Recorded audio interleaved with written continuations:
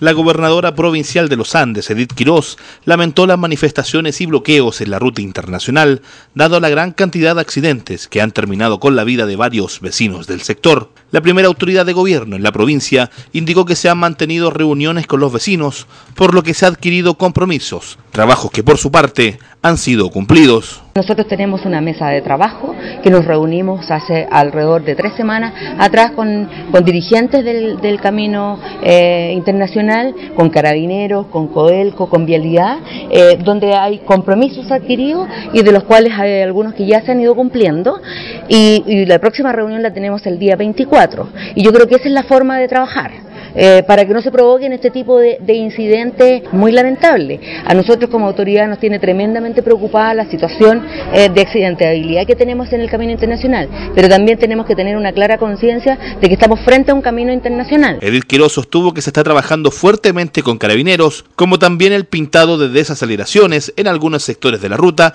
y se está trabajando para realizar la instalación de barreras de triple onda en las Vizcachas y los Chacayes. Ya se hizo una demarcación más arriba de la